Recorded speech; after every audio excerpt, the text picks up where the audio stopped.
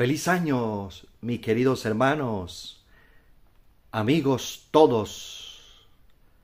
Feliz año para nuestra gente de Venezuela.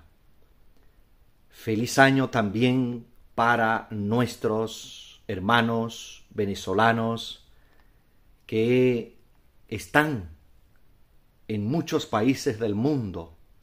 A ustedes nuestras bendiciones que Dios en su infinita bondad, en su infinita misericordia, nos ayude a lo largo de este año 2022, nos ayude a cada uno de nosotros a recibir de Él su gracia, su paz, su fortaleza para poder ofrecer a través de nuestra solidaridad, el cariño, el amor, el afecto a nuestros hermanos, sobre todo a quienes sufren, a quienes están padeciendo, a las personas enfermas, que nosotros siempre tengamos un corazón lleno de amor, lleno de bondad para dar. El venezolano que está en cualquier parte del mundo debe mantener esas características de ser una persona alegre, de ser una persona amable, de ser una persona educada, de ser una persona responsable, de ser una persona que ayude a otros a sonreír. Esos somos los venezolanos en cualquier parte del mundo. Que Dios Todopoderoso bendiga a todos nuestros hermanos venezolanos que están en el mundo, pero también nuestros hermanos venezolanos que no solamente están en muchos países del mundo, sino también quienes están allí en Venezuela. Le suplico a Dios Todopoderoso que les le conceda a cada uno de ustedes, a todos mis seguidores, a nuestra gente del canal Reporte Católico también, les conceda la sabiduría necesaria para mantenerse unidos en familia y a pesar de que tengamos seres queridos fuera del país, no olvidemos, nunca olvidemos que debemos mantener la comunicación, esforzarnos por mantener la comunicación para lograr la comunión en la familia. Aprovecho también la oportunidad para saludar a mis hermanos sacerdotes de la arquidiócesis de Barquisimeto.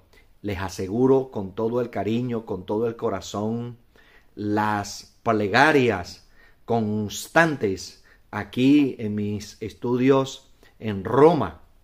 También nuestro saludo a Monseñor Víctor Hugo Basabe, administrador apostólico de la Arquidiócesis de Barquisimeto. Ruego a Dios para él mucha fortaleza, mucha sabiduría y salud para poder continuar con su ministerio en bien de la diócesis de San Felipe, de la arquidiócesis de Barquisimeto y de, y de esta provincia, también de la provincia de Barquisimeto. Que Dios en su infinita bondad y misericordia les conceda a cada uno de ustedes la paz, la salud que nosotros necesitamos. Cuidémonos, por favor, cuidémonos muchísimo. Cuidémonos muchísimo y le y saludo no solamente a mi gente de Venezuela, sino también a mi gente de América Latina. Y le pedimos al Señor que sane a todas las personas que están enfermas, a todas las personas que están pasando por momentos difíciles de salud para que Dios en su infinita misericordia, en su infinita bondad, les sane.